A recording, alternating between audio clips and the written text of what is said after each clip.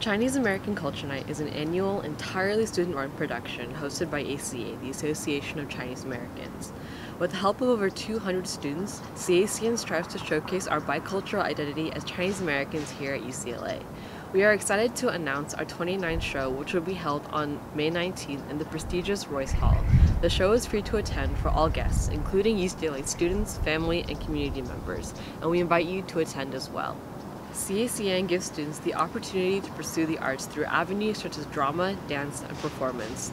Many of our actors and performers will get to experience the magic of Royce Hall for the first time for our show in May, and we hope that you will attend to support and cheer them on. A show of this scale, however, is difficult to fund, which is why we need your help.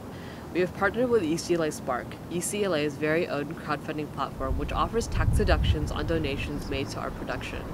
CACN is funded through contributions from sponsors and from people like you, so please consider making a donation today to help us tell the story of the Chinese American identity. Thank you.